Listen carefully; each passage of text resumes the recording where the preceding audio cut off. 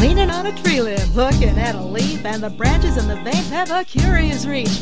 The lengths that they go form a ratio, like a nautilus shell, in an all expanding spiral. It's a Fibonacci sequence, and it's gone viral.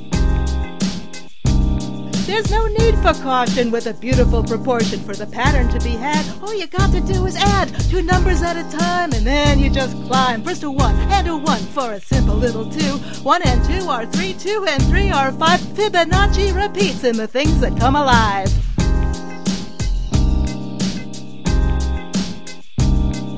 Pineapples, pine cones, artichokes, ferns. The mighty Fibonacci always returns round and round like the petals in a flower. From the shape of a dolphin to bones in your finger, the Fibonacci sequence knows how to linger.